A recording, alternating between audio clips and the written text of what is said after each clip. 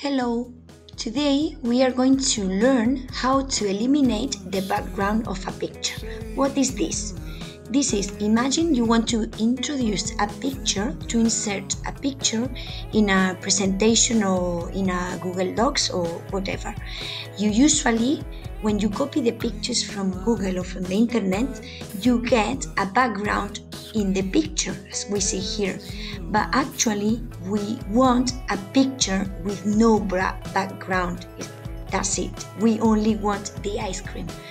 Okay, so how do we do uh, how do we achieve this how do, do we get this what you have to do is you go in the you go in google eh, and then you type p-i-x-l-r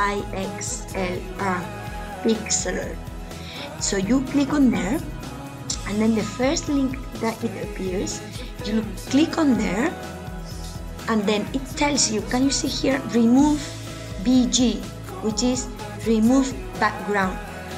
You don't need to uh, sign in. You don't have to sign up nothing.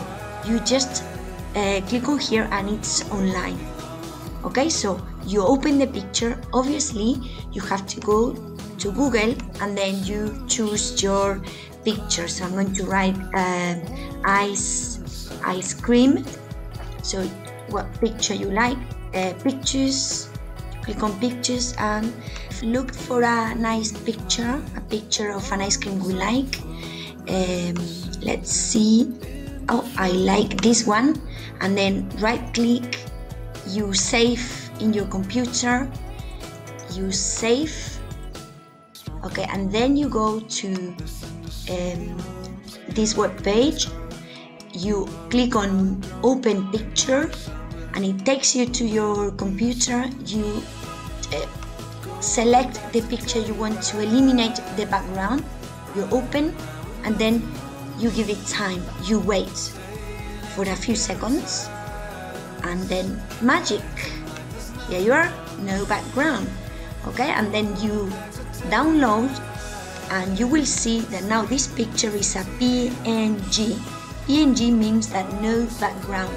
So I go to my presentation, I go here, uh, okay, I don't want that one, I want the new picture, upload from the computer, go here and magic, no background.